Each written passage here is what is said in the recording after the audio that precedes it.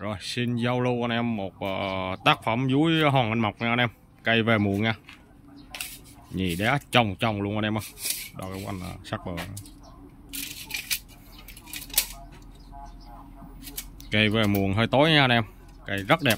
Bờ rễ dốt đỉnh nè. Bình Hành uh, ờ, sắc bờ đó trăm nha anh em. Cây lên dốt cái đỉnh uh, bè cây cành nó phân bố rất hay nha anh em nha. Rào đây chĩa ra đây có thức mớ đâu? 70 70 cao 70 của anh bệ là 100 nha anh em. Rồi, quay cho anh em xem. Một tác phẩm dúi uh, hòn anh mọc nha anh em nha. Ôm gối đá rất nhiều trong uh, thân nha anh em. Nành thì nó rơi vào chắc cỡ tầm 30 kg thôi anh em nha. Rồi rồi. Để nó sánh vô luôn anh em ơi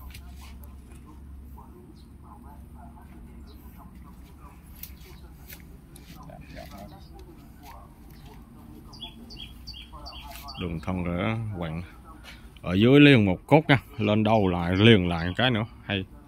Quay dòng